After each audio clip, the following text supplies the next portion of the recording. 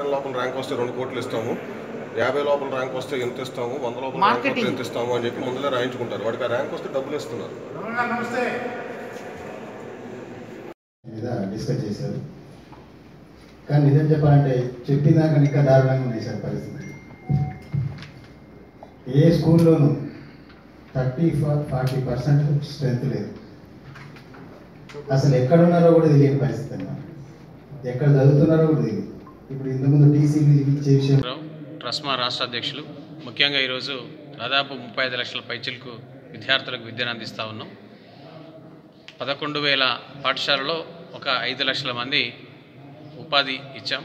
మరి ఈ సందర్భంగా గత ఇరవై నెలల నుంచి కోవిడ్ మూలాన పాఠశాలలన్నీ కూడా మూతపడి గత సెప్టెంబర్ నెల నుంచి భౌతికంగా పాఠశాలలు తిరిగి పునఃప్రారంభించాం.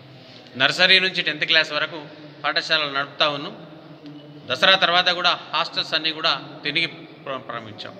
కానీ ఈ మధ్య కాలంలో కొంత మెడికల్ మాఫియా కానీ బైజూస్ యాప్స్ లాంటి అలాగే సమాజంలో కొంతమంది కార్పొరేట్ ఇన్స్టిట్యూషన్స్ అంతా కూడా ఫార్మా మాఫియాలు కూడా డాక్టర్స్ కూడా చాలామంది కూడా సమాజంలో ఈ ఒమిక్రాన్ మీద అంటే ఈ కోవిడ్ వివిధ రూపాల్లో రూపాంతరం చెంది దేశాన్నంతా కూడా భయభ్రాంతులకు గురి చేస్తూ ఉన్నారు అనేది ప్రకటనలు వింటా ఉన్నాం. చాలా విడ్డూరంగా ఉంది. అన్ని మా ప్రైవేట్ పాఠశాలలు ఎక్కడ కూడా గత మూడు నెలల నుంచి కోవిడ్కి సంబంధించిన అంశంలో కానీ కోవిడ్కి సంబంధించిన దాఖలాలు ఎక్కడ కూడా లేవు. ఏ టీచర్ కానీ ఏ పిల్లవాడికి కానీ కరస్పాండెంట్ కానీ ఎక్కడ కోవిడ్ వచ్చిన సందర్భాలు లేవు. కానీ వివిధ ప్రకటనల ద్వారా వింటా ఉన్నాం. కొన్ని ప్రభుత్వ పాఠశాలలు అక్కడక్కడ అది. అది కేవలం వినడం మాత్రమే. మరి ఈ సందర్భంగా తల్లిదండ్రులు ఎక్కడ కూడా భయభ్రాంతులకు గురి కాకూడదు. మీ విద్యార్థులంతా కూడా సర్వతోముఖ అభివృద్ధి చేస్తూ విద్య పట్ల ఆకర్షితులైన లర్నింగ్ గ్యాప్ వచ్చి లర్నింగ్ లాస్ అయింది. దాన్ని అంతా కూడా పొడగొట్టడానికి ప్రయత్నిస్తాను అలాగే ఆరోగ్యాన్ని కాపాడాల్సిన బాధ్యత పైన కోవిడ్ నియమ నిధులు పాటిస్తూ శానిటేషన్ కానీ అలాగే మాస్కులు కావచ్చు అలాగే వాళ్ళ యొక్క టెంపరేచర్ను కూడా రెగ్యులర్గా మేము టచ్ చేస్తూ ఉన్నాం. అలాగే ఫిజికల్ డిస్టెన్స్ కూడా మెయింటైన్ చేస్తూ ఉన్నాం. చాలామంది పిల్లల భయభ్రాంతులు ఎక్కడైతే జరుగుతూ ఉందో వాళ్ళందరినీ కూడా కౌన్సిలింగ్ చేస్తూ ఉన్నాం. టీచర్లకు కూడా మనోధైర్యాన్ని ఇస్తూ ఉన్నాం. తల్లిదండ్రులకు కూడా ఈరోజు మనోబలాన్ని మేము ఇస్తూ ఉన్నాం. ఎక్కడ కూడా మీరు భయపడకండి.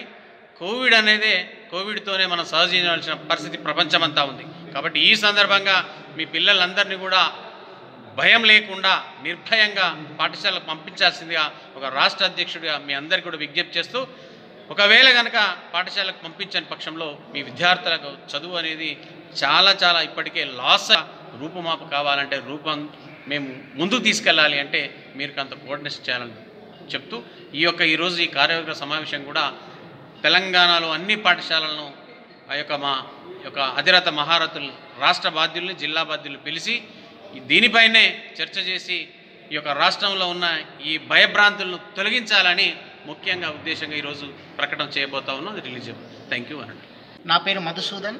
నేను తెలంగాణ గుర్తింపు పొందిన పాఠశాలల యాజమాన్యాల సంఘం ట్రస్మ రాష్ట్ర ప్రధాన కార్యదర్శి.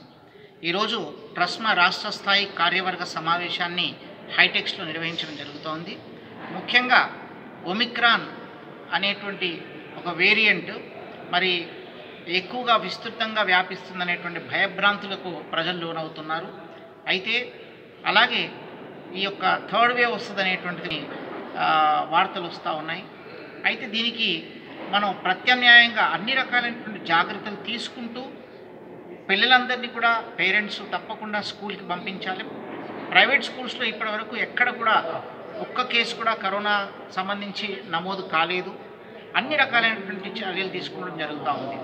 ఇప్పటికే పిల్లలు దాదాపు పద్దెనిమిది నెలల పాటు స్కూల్స్ మూతపడడం వలన తీవ్రమైనటువంటి లెర్నింగ్ లాస్ ఏర్పడ్డది. అధ్యయన నష్టం జరిగింది. అయితే దీనిపైన మేము ఒక రీసెర్చ్ కండక్ట్ చేయడం జరిగింది. తెలంగాణ రాష్ట్ర వ్యాప్తంగా అట్లాగే దేశవ్యాప్తంగా కూడా. తొంభై ఎనిమిది పాయింట్ రెండు శాతం విద్యార్థులు ఫిజికల్ మోడ్లోనే స్కూల్కి అటెండ్ అవుతామని చెప్పేసి ఈ సర్వేలో తెలియజేయడం జరిగింది. నలభైకలు మరియు ఇంగ్లీష్లో తీవ్రమైనటువంటి ఆ, సమస్యగా ఉన్నది? వాళ్ళు దాదాపు ఒకటి రెండు తరగతులు కిందకి వెళ్ళిపోయినటువంటి పరిస్థితి ఉంది. ఇది మన జాతీయ వనరులు అంటే మన యొక్క లైఫ్ మన యొక్క సంపద మన పిల్లలే రేపటి మన సిటిజన్స్ అవుతారు కాబట్టి వచ్చే తరము తీవ్రంగా నష్టపోయేటువంటి ప్రమాదం ఉంది కాబట్టి ఈ లెర్నింగ్ లాస్ని ఇంకా ఎక్కువ జరగకుండా లెర్నింగ్ లాస్ ఎలాగ బ్రిడ్జ్ చేయాలి ఏ ప్రకారంగా దీన్ని పూరించాలి బ్రిడ్జ్ క్లాస్ ఎలా కండక్ట్ చేసుకోవాలనే దానిపైన కూడా మేము ఒక నిర్దిష్టమైనటువంటి ప్రణాళికతో ముందుకెళ్తున్నాం. తల్లిదండ్రులకు పిల్లలకు అందరికీ కూడా మేము మనవి చేస్తున్నాం.